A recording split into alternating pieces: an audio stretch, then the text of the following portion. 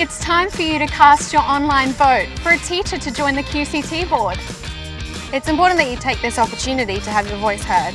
By the people who work in the best interests of teachers and students across Queensland.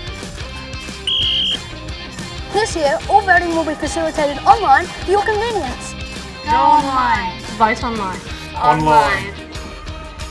Once the ballot opens on Friday, the 25th of May, all teachers registered in Queensland will receive an email with a link which will allow them to securely cast their vote.